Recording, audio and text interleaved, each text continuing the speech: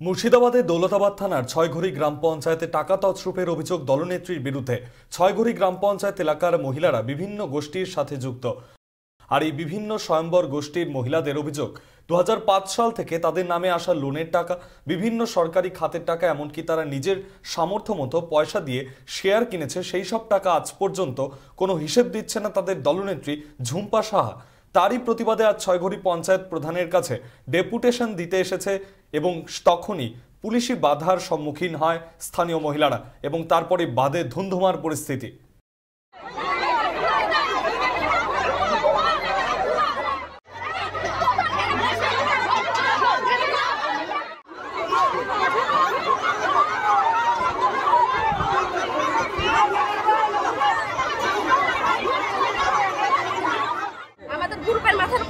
আছে। সেই সব টাকা পয়সা কোনো আমাদেরকে হিসাব নিকাশ কিছুই দেয় না। অথচ বাইরের অ্যাকাউন্টে কেন আমাদের এই সমবায় থেকে টাকা গেল? ছেলেদের কে তুলেছে আপনাদের টাকা? খুলেছে ঝুম্পা। ঝুম্পাটা কে? ঝুম্পাটা সদিকা আছে সদিকা। নেত্রী সদিকা আছে। সংঘের নেত্রী আছে। সঙ্গের নেত্রী? হ্যাঁ। আপনারা কি সঙ্গের নেত্রীর উপরে অভিযোগ করছেন? টাকা তুলে- আমরা চারজনের উপর অভিযোগ করছি। কার কার? রেহনা গাজলা ঝুম্পা ওরা কে? ওরা হলো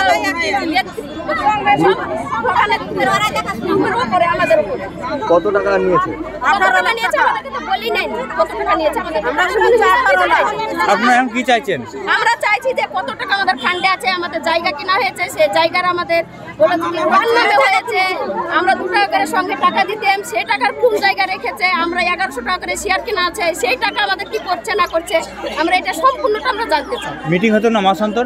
না। বলছিলাম আপনারা টাকা জমা দিতেন। হ্যাঁ, আমরা জমা দিতাম। তারপরে? জমা দিতাম দু টাকা করে সঙ্গে টাকা আমাদের প্রতি মাসে কুড়ি টাকা করে আমাদের দল কিছু নিত একটা হলো গ্রুপ কিছু কুড়ি টাকা করে নিয়ে বলেছিল যে জায়গা কিনবো। সমবায়ের একটা ব্যাংক হবে জায়গা কিনবো। সেই জায়গা জায়গা কিনা হয়েছে তাও আমরা জানি না কত টাকাতে কিনেছে। অথচ আবার কার নামে করেছে সেটাও আমাদেরকে বলেনি যে আমরা জায়গা কিনেছি এত টাকাতে এত টাকা আমাদের হয়েছিল। কিন্তু আর বলেছে যে কি থেকে বলেছে যে টাকাটা তোমার হচ্ছে ই করা হবে যখন ওই হয়ে যাবে টাকা নিব না তার জন্য এদিকে নেয়নি। বছর তিন চার থেকে নেয়নি। তার আগে নিয়েছি। পঞ্চায়েতে আজকে এসে অভিযোগ করব প্রধানের উপর যে আমরা এই আমরা সম্পূর্ণটা ভিডিও আমরা জানতে চাই যে আমাদের ফান্ডে কত টাকা আছে। সে টাকা তিনজন সিএসপির কাছে রাখা ছিল? অ্যাকাউন্টে ছিল। তারা সবাইকে সকলকে লোন বাবদ দিত। এখন আর লোন বাবদ দিচ্ছে খুব কম। যেগুলো দিয়ে আছে সেটা উঠুক সেটা বলছে। আর বলছে যে বাদ বাকি টাকা ওরা আপন আপন নিজেরা যত পেরেছে ভাগ ভাগ করে নিয়ে নিয়েছে। কত টাকা? প্রায় চল্লিশ লক্ষ টাকা কাছাকাছি আছে। আর এখন আপাতত বারো লাখ টাকার কাছাকাছি ওরা তুলে তুলেছে? সিএসপির মেয়েরা এবং সভানেত্রীর মেয়েরা। সিএসপিটা কোথায়? সিএসপি আমাদের গোষ্ঠীর মেয়েদের মধ্যেই সিএসপি বানানো হয়েছে তৈরি করা হয়েছে। হুম। সবাইকে তো একসঙ্গে সব পদ রাখা যাবে না। কেউ সভানেত্রীতে আছে কেউ সিএসপিতে আছে। এদেরকে এরকম পদ ভাগ করা আছে।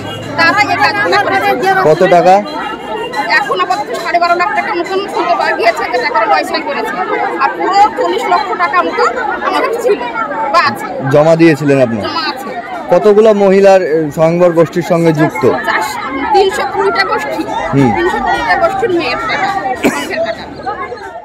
মিটিং করলাম আজকে।